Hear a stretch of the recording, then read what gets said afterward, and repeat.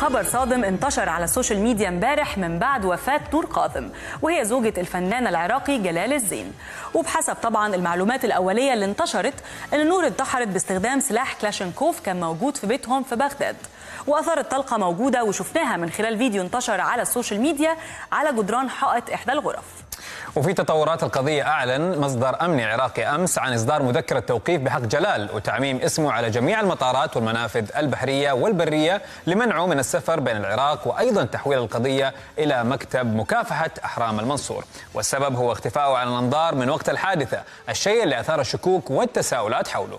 وهالشيء أيضا خلى الناس تحلل إنه يمكن الوفاة سببها القتل وليس الانتحار خاصة إنه إنقال إنه كان في خلافات بينهم بسبب الغيرة. فالأخبار الأولية يعني اللي انتشرت عن سبب انتحار نور اللي هي من مواليد 1995 بتقول إنه نور وجلال تجوزوا من أربع شهور عرفيا وعلاقتهم ما كانت مستقرة بسبب طبيعة عمل جلال. لكن كل الكلام ده مجرد تحليلات غير مثبتة. فالتحقيقات بدأت وأكيد هيكون في تحليل مثبت للطب الشرعي. ومن بعده طبعا هتتوضح الأمور والحقيقة كلها للناس.